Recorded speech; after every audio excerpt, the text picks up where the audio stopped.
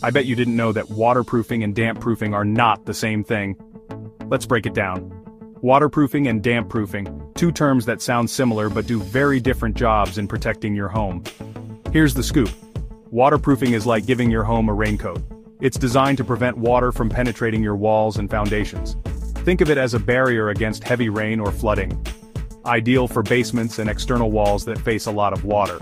On the flip side, damp proofing is more like giving your home a moisture repellent. It doesn't stop water completely, but manages moisture and dampness that might seep in over time. Perfect for areas where the main issue is humidity or ground moisture. So, if you've got a leaky basement go for waterproofing. But if you're tackling musty smells or minor damp patches, damp proofing is your best bet. Choose the right solution to keep your walls dry and your home happy.